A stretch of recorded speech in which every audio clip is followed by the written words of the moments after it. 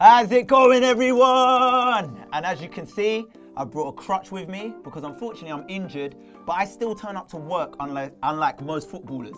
Um, join with me. I, look, he's back. I'm Look, back. He's not an optical illusion. He's I'm actually back. here, I'm back here. from Hollywood.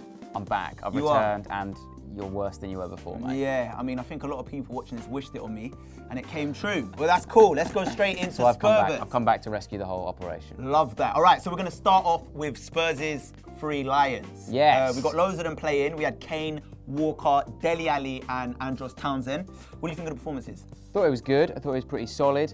Kane almost got a goal. Almost. I Thought it was a bit Almost. I thought it was harsh. Yeah. I feel I- like if it was like John Terry or Eden Hazard, like they did earlier this season, they'd give him the goal. It's just the way things are going for him at the moment. Yeah. He's got a sense of humour about it. He tweeted saying that they'd given him the goal when they hadn't. Yeah. So he's joking around. You know, he'll get out of his funk Probably soon enough. though. I've got faith. Yeah. He'll get out of his funk soon enough, and he'll be back, maybe against Liverpool. Oh, Dele Alli Dele Alli. made his debut for the senior team. Great, and it, that officially makes us the team that have provided the most England players. Look at that. 74. Stats. Screw you, Aston Villa. 73. Pathetic. Oh yeah. I was kind of disappointed though that he didn't get a full game. I thought at least Yeah. against um, Lithuania he'd get a full game. I can understand it though. He's young. You know, he's Yeah. only just. But it was already in the bag. I mean, did Hodgson really want that those 10 out of 10 I wins? know. I think it's the same logic of Eric Dier being in the 21s instead of the uh, Ah, yeah. instead of the senior squad. Just give him time. Eventually, they'll be in. extremely important to the England squad. Yeah. They'll And the the next likes of Gerrard um, Lampard. Jack Wilshere's will be on these all season. Yeah. Hopefully he won't make the Euros and Dele Alli can just slide right in there. Jack Wilshere, Exactly. hold this tightly. All right, the next topic on Spurverts is going to be Mason and Bentaleb. Now apparently, apparently, according to Physio Room, they're going to be fit for Liverpool this weekend. Interesting. How do you Very feel about that? I feel good about it. Obviously, that's good. We've got Yeah. options, more options.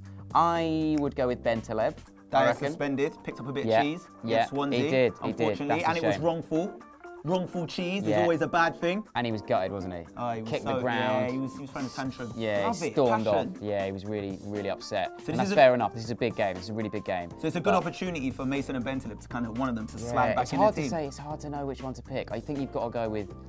I think you've got to go with Bentaleb if Yeah? you're going to play Alli. Because Alli and Mason are kind of both yeah, they like to that's bomb forward. Slightly, yeah, they're a bit similar, and you you wouldn't drop Alli at the moment, surely not. Nah, you couldn't. Surely not. Not with confidence on the rise. All right, so let's talk about Hugo Lloris. Whoop, whoop. It's the sounds of the Lloris. Now, he had a little interview with Sky Sports. And uh, we'll put aside the fact that he says we need to be more clinical and ruthless in front of goal. He ended by saying, and I quote, if we keep the same attitude and keep playing the same way, we'll win a lot of games. Kind of stating the obvious, but um, It is quite obvious. Although, I, uh, if he's saying that we need to be more clinical in front of goal, but if, Mm. if he keeps playing the same way we'll win games, he's essentially saying, I'm going to keep doing what I'm doing. You guys need to up your games. ah, This is terrible over there. subliminal. Back here, we're smashing it. Well, you conceded two goals against Swansea, mate. So, Yeah. although he did make an amazing save in the last minute. But it's good that, you know, Lloris is actually showing that kind of confidence in Yeah, our it's good, especially given that, like, probably last time I was here, actually, it was so long ago, we were talking about, oh, God, is Lloris going to go? Please don't go. You were doing love messages to the camera to him, saying that you love him, times, calling him stuff. gorgeous, stuff like that. Stuff that made me feel quite uncomfortable. Um, but now he's sort of bedded in, saying, no, we're doing really well. If we keep playing like we're Yeah. we're going to be successful. That's good. And he's kind of right. We do need to be more clinical. Yeah. Fair enough. At least he's, you know, he's getting it right. He knows what he's talking about. Lloris, you can do no wrong, basically. We agree lad. with absolutely everything you say, just don't go. That's that's all we want. All right, this has been uh, part one of Spurverts. If you enjoyed the video, make sure you drop it a like. Follow us on Twitter at Spurred on TV, and Rhys will take over in part two. Hello, welcome to part two of Spurvert. I am here with Darren Anderton. No, it is the injured Craig Mitch. Yes. Got injured playing football, to be fair. So at least you're keeping it on brand. Very